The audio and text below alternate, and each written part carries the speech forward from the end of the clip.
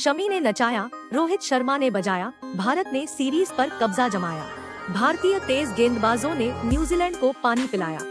दोस्तों, भारत और न्यूजीलैंड के बीच दूसरा वनडे मैच रायपुर के मैदान पर खेला गया। टॉस जीतकर रोहित शर्मा ने कीवी टीम को पहले बल्लेबाजी का न्योता दिया और भारतीय गेंदबाजों ने उनके इस फैसले को सही साबित करके दिखाया। शमी, सुंदर और हार्दिक पंड्या की आग उगलती गेंदबाजी ने न्यूजीलैंड पर कहर बरपा दिया। भारतीय गेंदबाजों ने कीवी बल्लेबाजों को खूब नचाया और पूरी टीम को ही चौतीस दशमलव तीन ओवर में 108 रनों पर समेट दिया। न्यूजीलैंड के लिए सबसे ज़्यादा 36 रन ग्लेन फिलिप्स ने बनाए। उनके अलावा माइकल ब्रेसवल ने 22 और मिचेल सैंटलर ने 27 रन बनाए। कीवी बल्लेबाज पूरे मुकाबले में भारतीय गेंदबाजों के आगे जूझते रहे। कीवी बल्लेबाजों को अपनी गेंदों पर नचाने की शुरुआत शमी ने की थी। शमी ने सलामी बल्लेबाज फिन एलन को पहले ही ओवर की पांचवी गेंद पर डक पर आउट कर दिया। इसके बाद तो पूरी मेहमान टीम ही दबाव में आ गई और एक के बाद एक पंद्रह रन के भीतर पाँच विकेट गिर गए। ऐसा लग रहा था कि पूरी टीम पचास रन के भीतर ही सिमट जाएगी, मगर तीन बल्लेबाज बल्लेबाज स्कोर को 100 रनों के पार पहुँचाने में सफल रहे।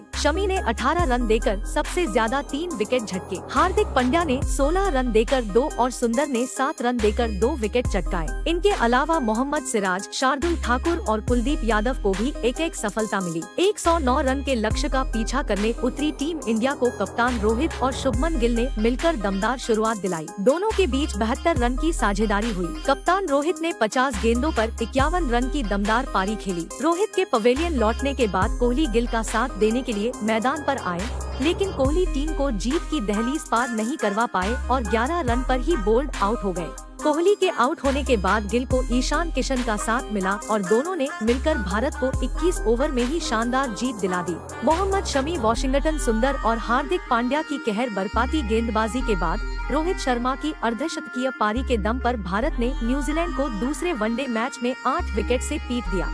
इसी के साथ भारत का सीरीज़ पर भी कब्जा हो गया है। रोहित शर्मा की टीम ने तीन मैचों की वनडे सीरीज़ में दो शून्य से अजय बढ़त हासिल कर ली है।